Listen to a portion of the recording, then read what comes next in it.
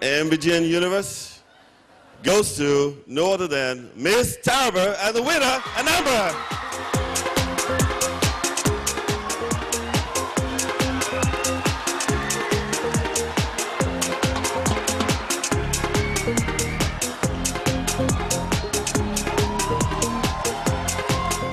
Beautiful Adaeze Yobo won the prestigious MBGN in 2008. She pursued her childhood dream by representing Anambra State in the MBGN pageant, competing alongside 29 other beautiful ladies. That same year, she represented Nigeria at the Miss World pageant in South Africa, where she ranked the top 20 in Miss World Talent and placed second in Miss World Sports. Her life soared and things changed. She sits with us on e-weekly meet to reveal a very interesting journey. All right, for you, how was your experience in Miss World in 2008? Miss World was amazing. Like it was I always tell people that after Miss World, that, that's when you see the true beauty of all the beauty queens. Like we go there and we learn a lot. We get more experience and we see other like people from different parts of the world and we uh, learn things that we didn't even know about before then. So it's a beautiful, like it's probably one of the best experiences of my life. Nothing has, okay, well, apart from having kids and being married, nothing has stopped that. All right, before MBGN, who was Adaeze? Who was Adaeze Igwe? Should I say Adaeze Igwe? Yes. Who was Adaeze Igwe before the entire process from MBGN to Miss World and getting married and becoming a mother? You know, I can't really remember. you lost touch with your old self. Because I'm still the same person, just a loud, annoying, nice, um, beauty queen wannabe. that was it. I was, um, I was basically being, um, and in going to MBG, going for the competition was basically living my dream.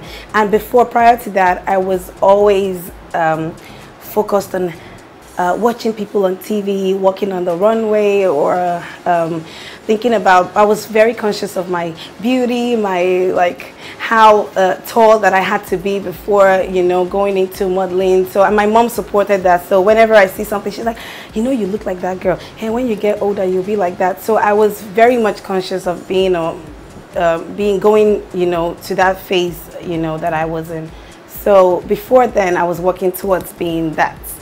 You know, I, I knew that I, I would never uh, rest or be satisfied if I wasn't a beauty queen or it didn't matter if I won or not. Just going through that experience of living my dream and all that was what mattered and thankfully, thankfully to God, I lived out my that part of my dream. All right, for ladies who still have that thing in their mind, I don't know where they got it from, thinking as just light-skinned girls who win beauty pageants, who are featured in music videos, who become popular, you know, on television or who act? What do you have to tell them? I don't even know where that comes from. I, I see it a lot and I feel like they're I I don't want to be very like negative towards them, but I feel like it's um, very people with very low self-esteem that think that because I've seen a the girl who won Miss World, Agbani, you know, she Miss World, not even just uh, Miss Nigeria. She was also Miss World. So why would you think that it's just light-skinned girls that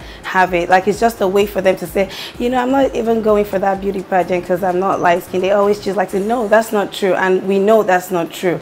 So I don't know where they get that from, but it's just to make themselves feel good. And if that's okay with them, they can keep saying it to themselves instead of just moving forward and, you know, being what they want to be in life. Now, looking at your process, I mean, the transition from going through MBGN, Miss World, and becoming a mother, how would you, you know, how would you define that transition in your life? Um, there's a lot.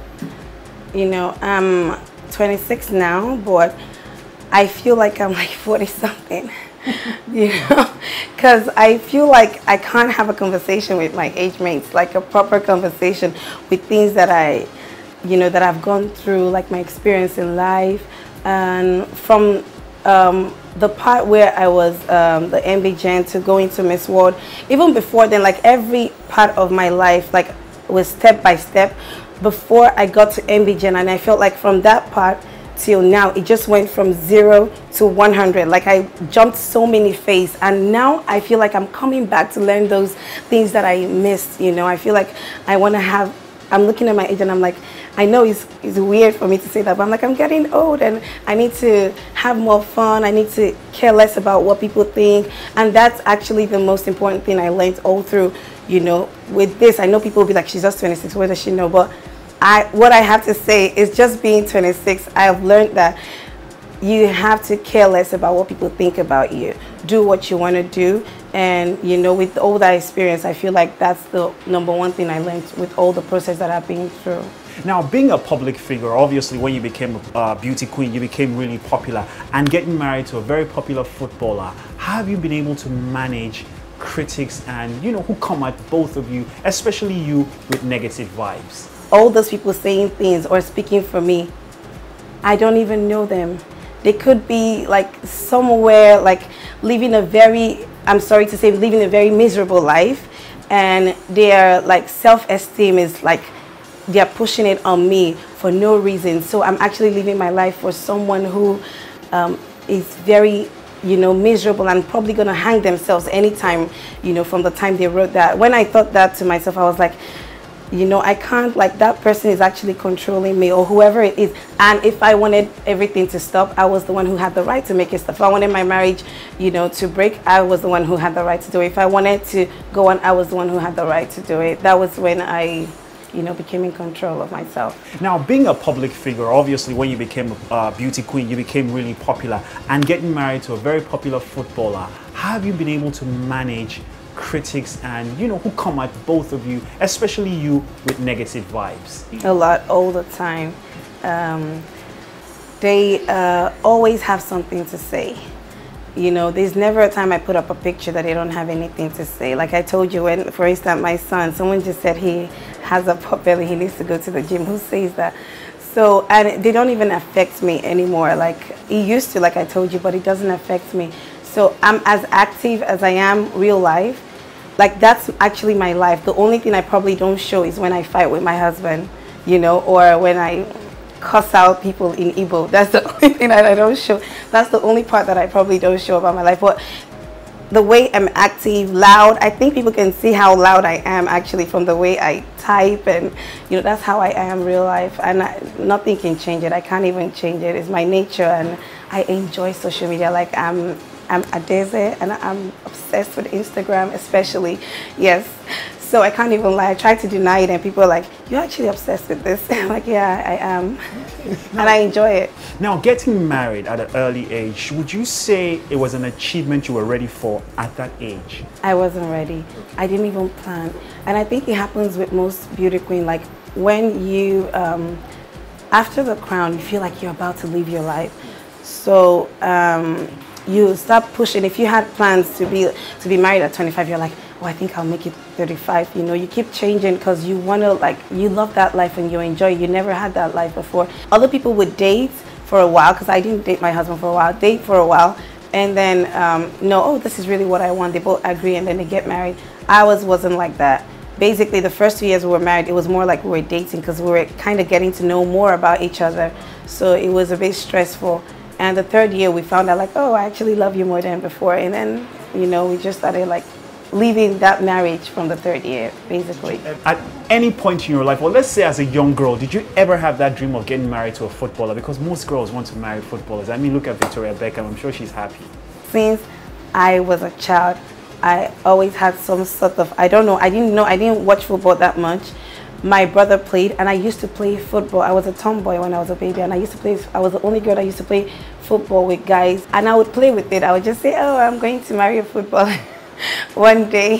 So, and I actually, like, my first boyfriend played football. Really? Yes. So had that football yes, and he always wanted to play internationally, so yeah.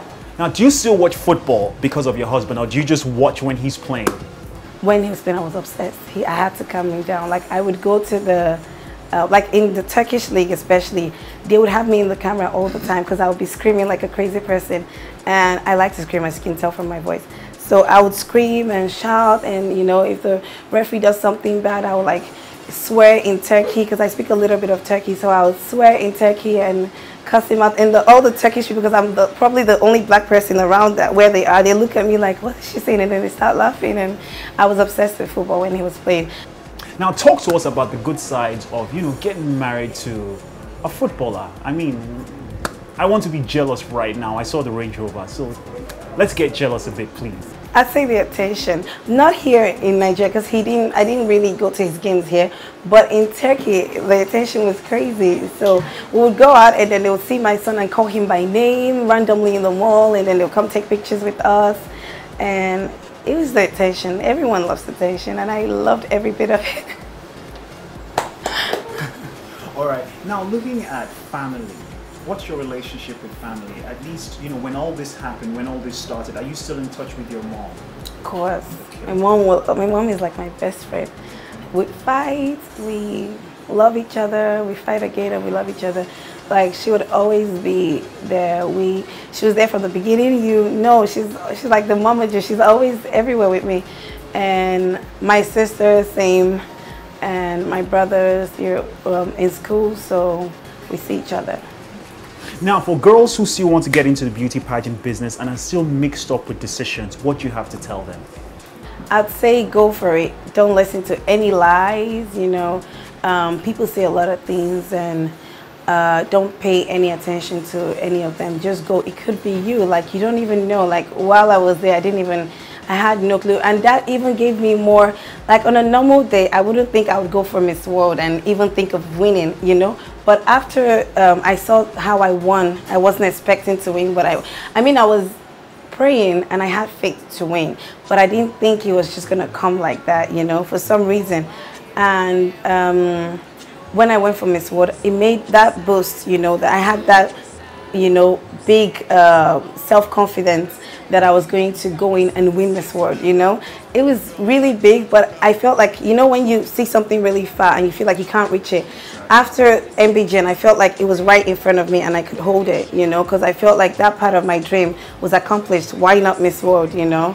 So um, it could be you, so you have to just go, if, you, if that's what you want to do, go for it. Like, don't listen to any lies. While I was there, at some point, um, MBGN, people said, oh, they already know who is going to win. They were like talking to me, oh, they already know, they already know, is this girl, I know the girls they said they were going to win. They didn't even make it to the top three. There are a lot of things for everyone is a winner basically when you go for MBGN. And I'm always grateful for, um, you know, being a winner, you know, being MBGN, you know, I'm always, I always think back to it and I always thank God for giving me that platform to be able to, you know, that changed my life basically baby.